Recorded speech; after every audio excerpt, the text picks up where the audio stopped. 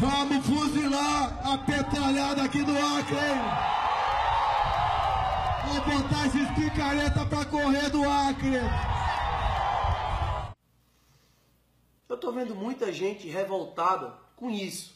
Então eu vou dividir esse vídeo aqui em três pontos para você entender um pouco melhor. Primeiro, todo mundo sabe que isso foi uma metáfora, ou seja, figura de linguagem, estilo, aquele cara é um gato, ou então aquela menina é uma flor, ou então vivo dando murro em ponta de faca. Isso tudo é metáfora e não precisa ser nenhum professor de gramática para entender que o que Bolsonaro quis dizer foi que ia varrer o PT das eleições desse ano. Segundo, petralha não quer dizer petista. Petista é aquele que vota no PT. Já petralha é um apelido dado para aquelas pessoas mau caráter que votam no PT. Aí eu te pergunto, você é mau caráter? Terceiro, veja agora aqui comigo uns vídeos de alguns petistas ou simpatizantes do PT. Esse aqui é Sérgio Palladini, um dos fundadores do PT.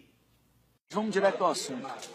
O que, que a gente precisa para derrotar os fascistas, essa direita, esses escrotos, o viagrento, os golpistas? O que a gente vai fazer? Eu acho que para derrotar esse tipo de povo a gente precisa de arma. Mas muita arma. É tanto escroto, tanto fascista, que é, eu acho que com toda a arma que a gente tinha ia faltar munição.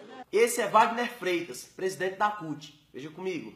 E que isso implica agora, nesse momento, ir para as ruas entrincheirados com arma na mão se tentarem derrubar a presidenta Dilma Rousseff.